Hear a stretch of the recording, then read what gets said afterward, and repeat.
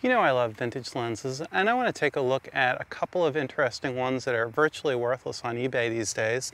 This is a Vivitar 85 to 205 3.8 zoom lens. I've traced the serial number down to about 1969, 10 bucks if you're lucky on eBay. I'm going to throw it on a C100 and let's see what we get with that. And this other old uh, Tamron 400 millimeter lens, which had done okay as a still lens before, but let's see if it can still stand up on the C100.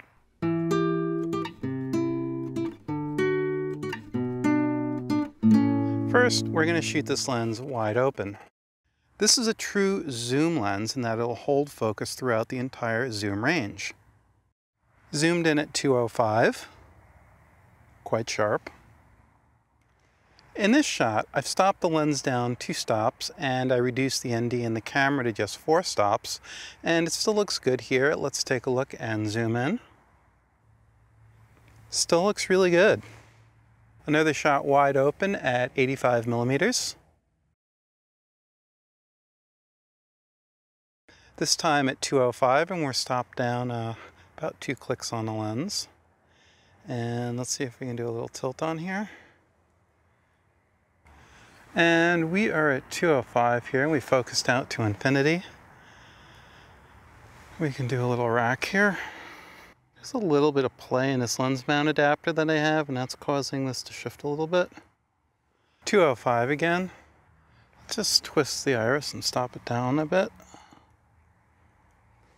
And let's flip the ND out.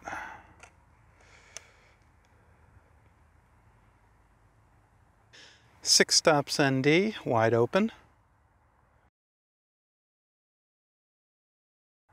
Let's rack the focus in.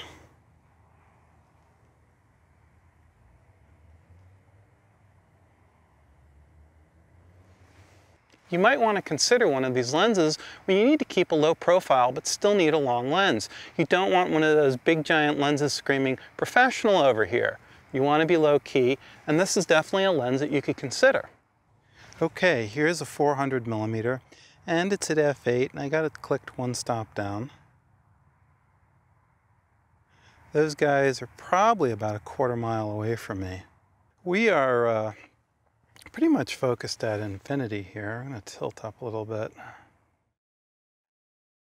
It's about 32 degrees Fahrenheit outside, and with this old Tamron lens, the grease in the lens is really stiffened up almost to the point of where the lens barrel actually wants to unscrew itself. The uh, focus ring is so stiff, so uh, you might need to change the grease out on this lens if it's even worth it. Good fluid head really counts when you want to pan a lens at 400 millimeters like this.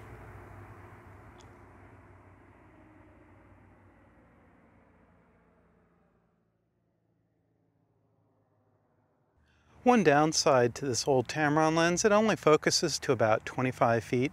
That's one of the compromises you get for a lens of basically no cost, but if you don't need to focus that close, then this may be fine. Here's a shot shooting against backlit snow out on the ice, and uh, it's holding together pretty well. That flare there is just a little bit of haze that's actually rising up off the uh, snow. I'm going to repeat a shot that I did on the uh, 205. So who would have guessed that these old, virtually worthless lenses could actually still hold their own today? Now, I'm not going to pretend that they're anywhere near as good as certain modern lenses, but if you're in a shooting situation where the lens might get damaged uh, because of rain, dust, etc.